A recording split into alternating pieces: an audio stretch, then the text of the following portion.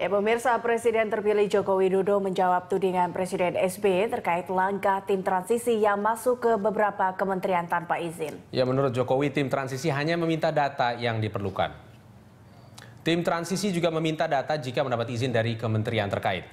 Jokowi pun menghormati pemerintah jika tidak memberikan data negara yang sifatnya rahasia.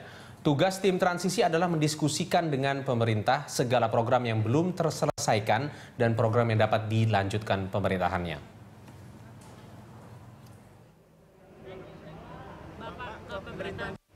Tugas tim transisi itu meminta data-data kalau diperlukan, itu pun kalau diperbolehkan, karena itu mungkin kan ada juga yang rahasia negara, ya enggak? Ya.